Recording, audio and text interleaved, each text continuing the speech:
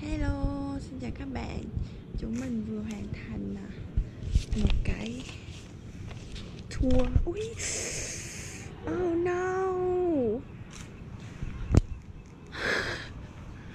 Sao. Ráng cả hai thôi nữa Rồi. Thì chúng mình vừa đến một cái gọi là Turkish and Islamic Art and Museum. Art Museum. Thì cảm nhận sơ qua một chút về cái chỗ này thì cái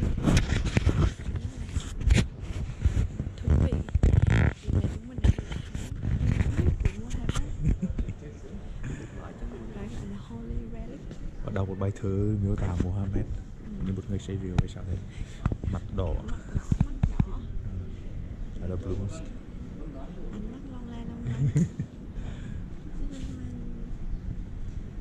Ở vì cái bảo tàng này nó Cũng học thêm bao nhiêu điều. Kiểu bao trùm. Trung cả một lịch sử của bọn đạo Islamic